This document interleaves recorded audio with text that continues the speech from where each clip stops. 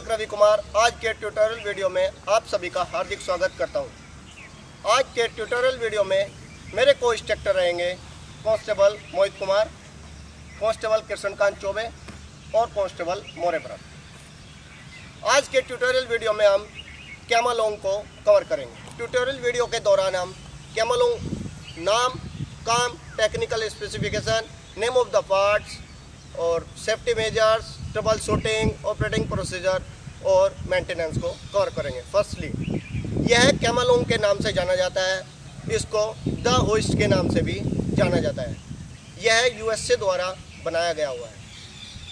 इसका काम, किसी भी कुएँ या गड्ढे में गिरे हुए किसी व्यक्ति, जानवर आदि को रेस्क्यू करने के लिए या उठाने के लिए इसका यूज़ किया जाता है। टेक्निकल स्पेसिफिकेशन यह ग्रीन पाउडर कोटेड एल्युमिनियम धातु से बना हुआ है। इसका वेट 54 केजी है और इसकी वेट कैपेसिटी 205 केजी है। इसका बेस डायमेंशन सत्तावन इंच है। कैमलोंग इक्विपमेंट्स के पार्ट इस प्रकार हैं। सबसे पहले बेस असेंबली इसके बाद mast assembly part digital winch और D crack crank handle. Davits.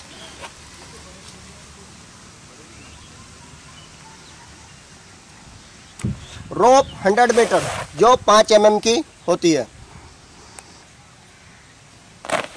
Flexible stretcher.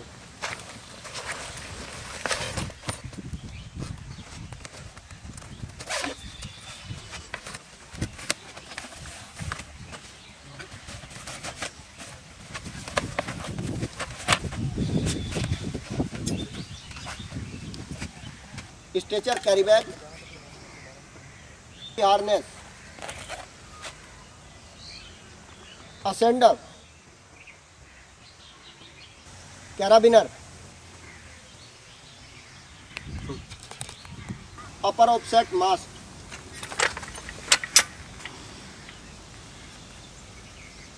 अब हम आप सभी को इस इक्विपमेंट के ऑपरेटिंग प्रोसीजर के बारे में बताएँगे। और ऑपरेट करके भी दिखाएँगे। ऑपरेटिंग प्रोसीजर में सर्वप्रथम इक्वमेंट को इंस्टॉल करते हैं।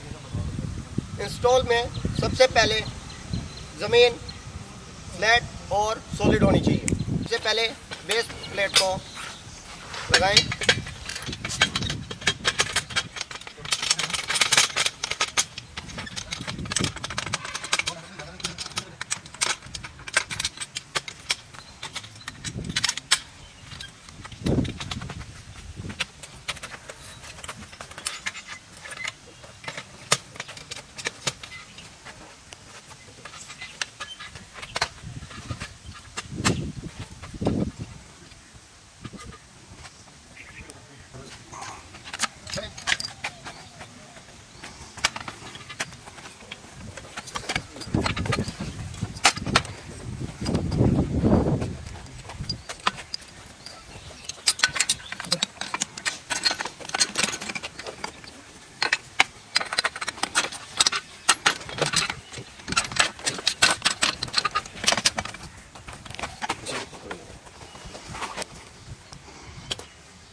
डायनेमिक रोप के एक सिरे को रिंच में, एंटी, रिंच में डालते हुए एंटी क्लॉकवाइज उसके हैंडल को घुमाएँगे, जिससे ये रिंच इस रोप को हमें पुली तक चढ़ाने में मदद करेगी।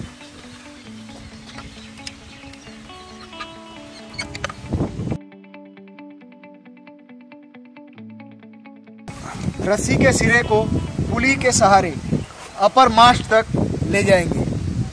और फिर रस्सी के एंड को, इस ऑब्जेक्ट को हमें उठाना है, या विक्टिम को किसी गड्ढे से बाहर ले आना है, वहाँ तक रोप को एंटी क्लॉकवाइज घुमाते हुए ले जाएँगे।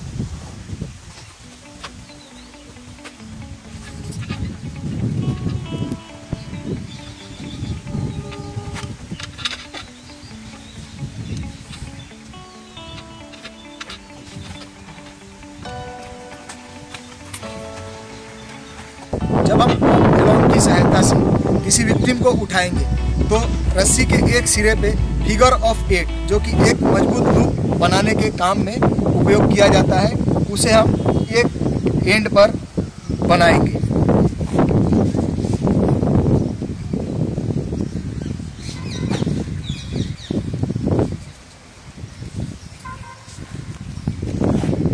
फिगर ऑफ़ एट बनाने के बाद इसे मज़बूत थम नॉट बांधकर लॉक करेंगे।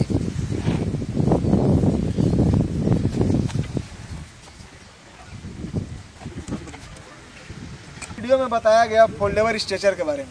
आपके सामने रखा हुआ है ये फोल्डेबल स्ट्रेचर। अब इसको हम खोल कर विक्टिम को इसमें कैसे स्टेबलाइज करेंगे, वो हम आपको करके दिखाएँगे। इस स्ट्रेचर को खोलना और पेशेंट को स्टेबलाइज करने का तरीका आपको मोहित कुमार और मोरे भगत बताएँगे। जैसा कि आप लोग देख रहे हैं कि ये स्ट्रेचर को, इसका नाम भी फोल्डेबल है तो ये फोल्ड था, इसको खोल रहे हैं। अब हमें सिनेरियो दिया गया था कि एक विक्टिम कुआँ में गिरा हुआ है या किसी गहराई में पड़ा हुआ था। तो अब इसको कैसे इस फोल्डेबल स्ट्रेचर पे स्टेबलाइज करेंगे, ये हमारे दोनों को इंस्ट्रक्टर्स आपको करके दिखाएँगे। दिए गए सिनेरियो के अनुसार यहाँ पर एक विक्टिम खड्डे में पड़ा हुआ है। जिसके पास हमारे रेस्क्यूअर अभी पहुँच चुके हैं और आपको रेस्क्यू करके दिखाएँगे। सबसे पहले विक्टिम के आसपास और विक्टिम का हज़ार मुक्त किया जाए।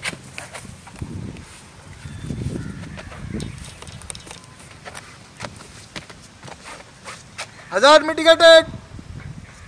अब ये सर्वाइकल कॉलर का यूज़ किया जाए। सबसे पहले सर्वाइकल कॉलर मेज़रमेंट किया जाए।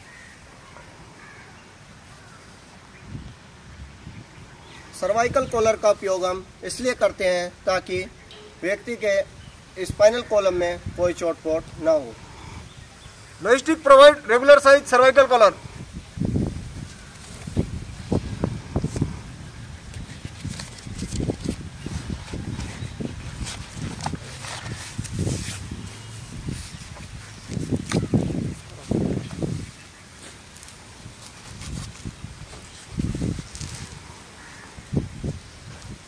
cervical color applied.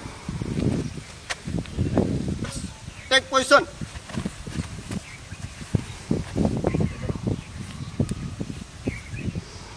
Rescuers, on my command, lift the patient, one to lift.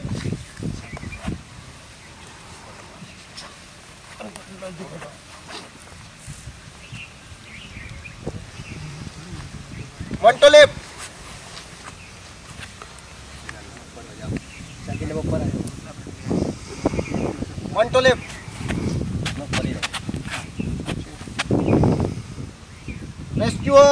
Move.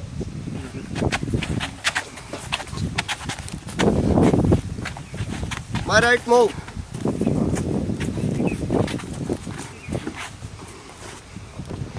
Rescuers, on my command, down the patient, one to down, one to down, one to down.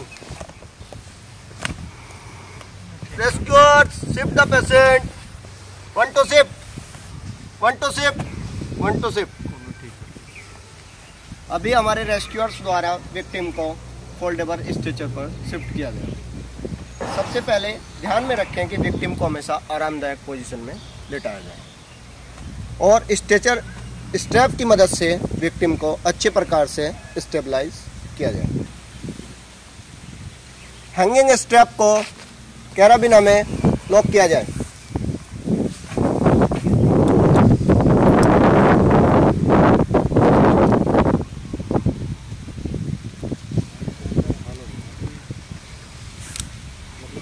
सभी step को एक बार फिर दोबारा से check किया गए। जाए, कहीं लूज तो नहीं है।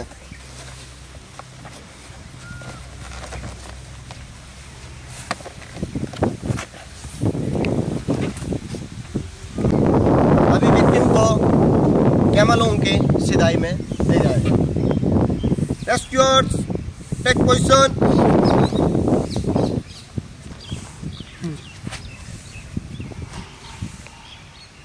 Rescuers, on my command, lift the patient, one to lift, One to lift.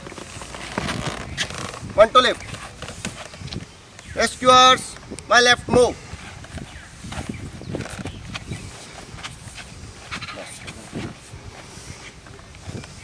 Rescuers, on my command, down the patient. One to down. One to down. One to down. Up.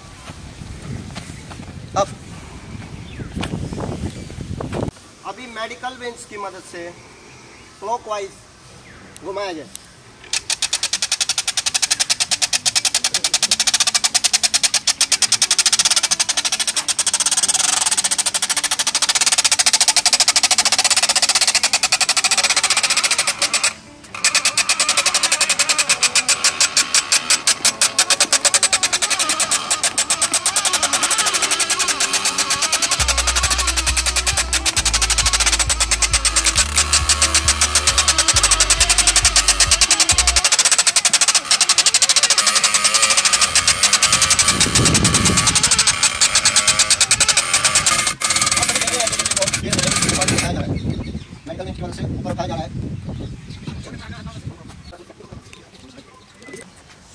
प्रकार हम किसी कुएँ या गड्ढे या किसी भी गहराई के स्थान से इस इक्विपमेंट की मदद से हम किसी भी विक्टिम को ऊपर लाया जा सकता है। अभी विक्टिम को नीचे उतारने के लिए डिजिटल वेंस को एंटी क्लॉकवाइज घुमाया जाए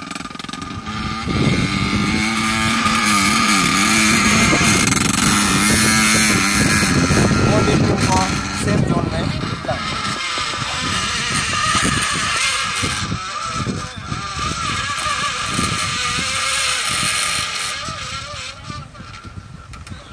इक्विपमेंट को ऑपरेट करते समय कुछ ध्यान में रखने वाली बातें इस प्रकार हैं। सबसे पहले बेस प्लेट को हमेशा सॉलिड और फ्लैट सरफेस पर ही रखें।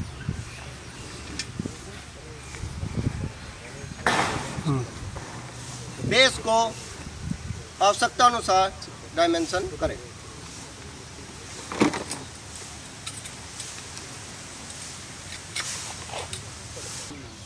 बबल्स का मिलान किया जाए। अगर बबल्स सेट नहीं है तो उसको सेट किया जाए।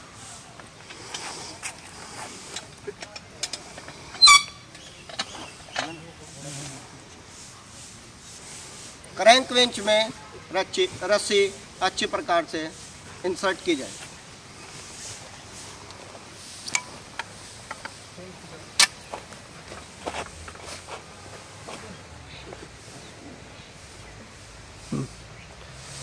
रोप में फिगर ऑफ़ एट और थम नोट लगाया जाए।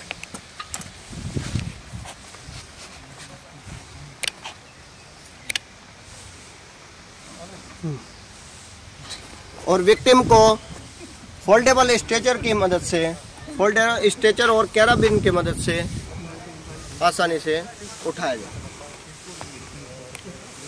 इस इक्विपमेंट को हम दो प्रकार से यूज़ किया जा सकता है। मोटर से भी और मैनुअल। मोटर से यह 30 फीट पर मिनट तक उठाता है। यहाँ पर मोटर का यूज़ किया जाता है। और मैनुअली यह 13 फीट पर मिनट उठाता है। अभी हम आपको इस इक्विपमेंट के ट्रबल शूट और उनको दूर करने के उपाय के बारे में बताएँगे। सबसे पहले इक्विपमेंट को कभी भी दलदली, रेतीली और पानी वाली जगह में ना रखा जाए। जिससे कि इक्वमेंट डिसबैलेंस हो सकता है। तो हमेशा इक्विपमेंट को सॉलिड और फ्लैट सरफेस में ही रखा जाना चाहिए। रोप को हमेशा चेक करके ही लगाया जाए। रोप में कहीं जोड़ या कोई क्रैक तो नहीं है। और रोप में कभी भी किसी प्रकार का जोड़ न लगाया जाए। एनडीआरएफ में किसी भी इक्विपमेंट को इस्तेमाल करने से पहले ध्यान में रखने वाली सबसे महत्वपूर्ण बात सब पूर्णतः हमारी पीपी कंप्लीट हो सबसे पहले सेफ्टी हेलमेट। इसका इस्तेमाल हम अपने सिर को बचाने के लिए करते हैं। Safety goggles. इसका इस्तेमाल हम अपनी आँखों को बचाने के लिए करते हैं कि जैसे कि इसमें कोई धूल गर्दा या कोई कण ना चला जाए। उसके बाद डस्ट मास्क। इसका उपयोग हम धूल गर्दा को नाक और मुँह में जाने से बचाने के लिए करते हैं। ईयर प्लग्स इसका इस्तेमाल हम अपनी कानों में हमारी श्रवण शक्ति से ज़्यादा आवाज़ ना जाए, उसके लिए करते हैं। हेवी ड्यूटी ग्लव्स इसका इस्तेमाल हम अपने हाथों को बचाने के लिए करते हैं। नी पैड इसका इस्तेमाल हम अपनी घुटनों को तथा एक आरामदायक पोजीशन बनाने के लिए करते हैं। हार्ड टो बूट इसका इस्तेमाल हम किसी भी हजारडस जगह पे आसानी से जाने और वहाँ पर काम करने के लिए और उसी दौरान अपने पैरों की सलामती के लिए करते हैं। अंत में हमारी डांगरी। इसका इस्तेमाल हम अपने पूरे शरीर को बचाने के लिए करते हैं, जिससे कि हमारे शरीर में कोई धूल कण या कोई गर्म वस्तु अचानक ना चली जाए। अभी हम सेफ्टी मेजर्स पोर्शन को कवर करेंगे। सबसे पहले सेफ्टी मेजर में हमेशा पीपी का उपयोग करें। कार्य हमेशा पेयर में ही किया जाए।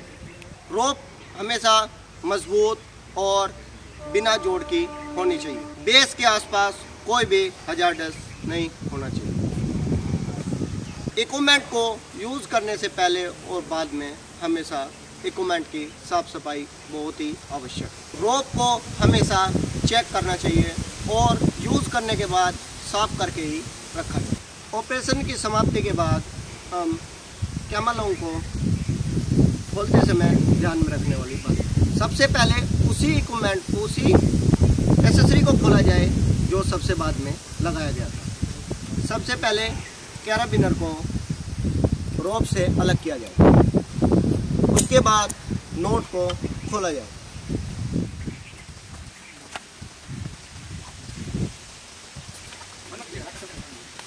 उसके बाद रोप को डिजिटल वेंच को और डी करंट हैंडल की मदद से एंटी क्लॉकवाइज क्लॉकवाइज घुमाया जाए।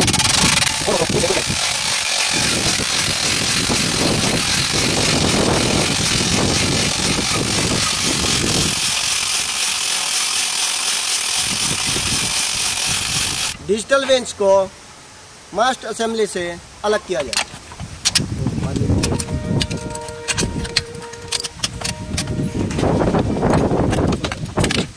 करंट हैंडल को डिजिटल वेंच से अलग किया जाए। मास्ट असेंबली को डेविड से अलग किया जाए। डेविड्स को बेस असेंबली से किया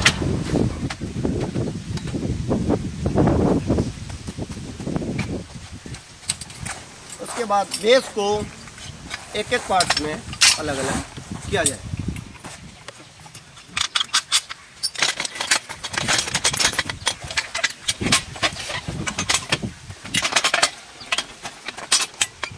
अभी इक्विपमेंट के सभी पार्ट्स को और रोप को एक बार फिर से चेक करें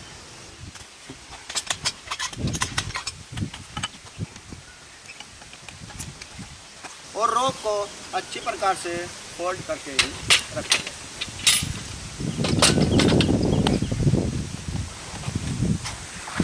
ये था हमारा कैमलों का ट्यूटोरियल वीडियो जो आपके सम्मुख पेश किया गया. सावधान.